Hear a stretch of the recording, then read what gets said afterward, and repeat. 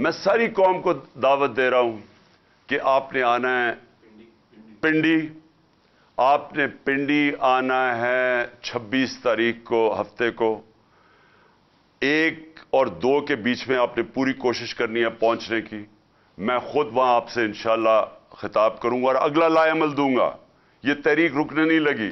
मानते हो कि एस्टेब्लिशमेंट ने कोई इसके ऊपर साजिश नहीं की। लेकिन रोक तो सकते थी ना। जानते तो थे इनसो इनका माजी। फाइलें तो सारी पड़ी हुई एजेंसीज के पास इनकी चोरी की। वालेकुम, मैं हूँ किरण नाज। पाकिस्तान में अहम तैनाती इस वक्त अहम तरीन मसला बनी हुई है। इमरान खान ने अहम तैनाती और चेन ऑफ़ कमांड की तब्दीली से सिर्फ़ तीन दिन पहले अवाम को रावलपिंडी पहुँचने की फाइनल कॉल दे दी है। इमरान खान ने साजिश के बयानिए में इस्टेब्लिशमेंट के किरदार से भी यू टर्न ले लिया है। खान साहब ने आज इस्टेब्लिशमेंट को क्लीन चिट देते हुए एतराफ किया कि इस्टेब्लिशमेंट ने साजिश नहीं की, मगर वो उनके खिलाफ तहरीक अदम एतमाद रोक सकते थे। क्या ये वही खान साहब हैं जो कभी मीर जाफ़र कहा करते थे और कभी पूछते थे कि अमेरिका ने साजिश के लिए खत लिखा किसको था? एक मीर जाफ़र और मीर सादिक ने मिलकर पाकिस्तान की हुकूमत करा के 22 करोड़ पाकिस्तानियों की मुंतखब हुकूमत गिरा के ये चोरों को ऊपर मुसलत किया। खान साहब के तेवर बता रहे हैं कि वो अब फौज और अमेरिका दोनों से दोस्ती चाहते हैं। शायद इसीलिए सदर ममलिकत भी वज़ीर आज़म की सिफारिश पर अमल करने का यकीन दिला रहे हैं। मगर वज़ीर खारजा को अब भी खदशा है। जब पूरे कौम की सियासी जमातें इस कोशिश में थे कि हम जमहूरी तरीके खान साहब के खिलाफ इस्तेमाल किया जाए और आईनी तरीके से इसको निकाला जाए खान साहब का क्या रवैया था? खान साहब ताहया एक्सटेंशन दे रहा था और उस ताहया एक्सटेंशन को रिजेक्ट किया गया। इसका सो कॉल्ड लॉन्ग मार्च है। इसका कोई जमहूरी मकसद नहीं है।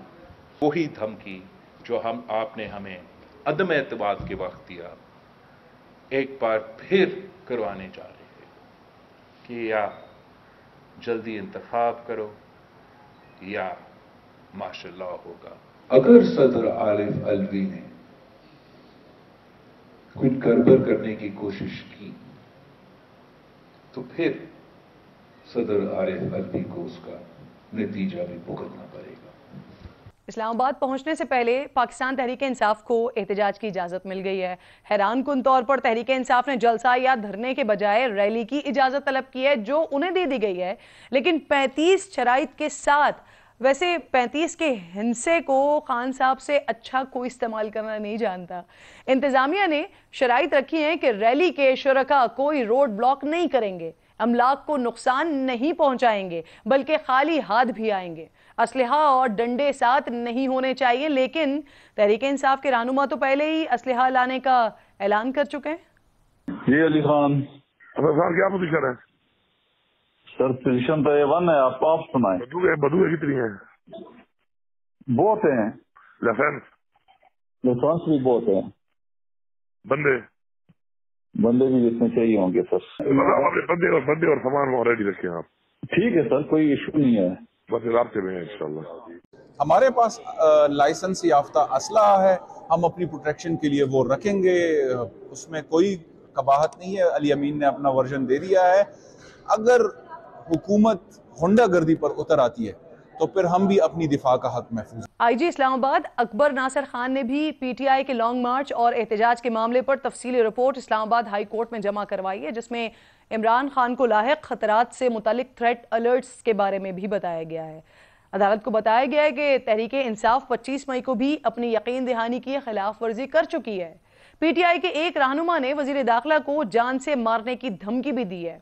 रिपोर्ट में तजवीज पेश की गई है कि पीटीआई से फाइनेंशियल गारंटी ली जाए तो कंटेनर्स भी रखने की ज़रूरत नहीं होगी। क्या तहरीक इंसाफ 35 शराइ पर अमल करेगी?